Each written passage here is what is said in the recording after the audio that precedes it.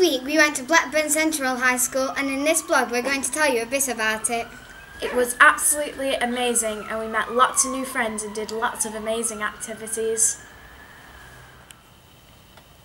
On the coach journey to Blackburn Central High School in the Shevington minibus, we did lots of activities like listen to music and talk to our friends.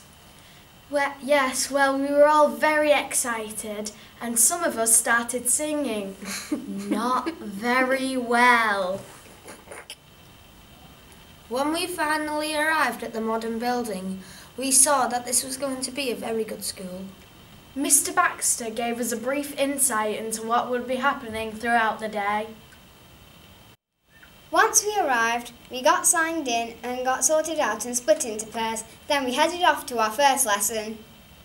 In our pairs, we did two different lessons drama and art. Me and Eleanor did art, and we learned how to blend colours. We're going to be talking a little bit about our second lesson music. In music, we learnt about all the notes on the stave and which order they went in and how we could remember them. We learned how to spell words on the stave. It was really funny. Lesson number three was the last lesson we did, which was English. We were given a selection of story titles and we got to choose one and we had to think of ideas and of how we could make that story come alive. Once English was finished, we got to go to lunch. Yum! It was super cool.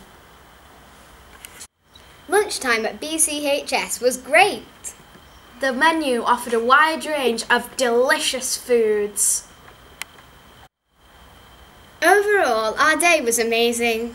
We got to meet new friends, do new activities, and experience a whole nother type of school life. We thought it was a great experience. And we hope to be going back soon. Bye!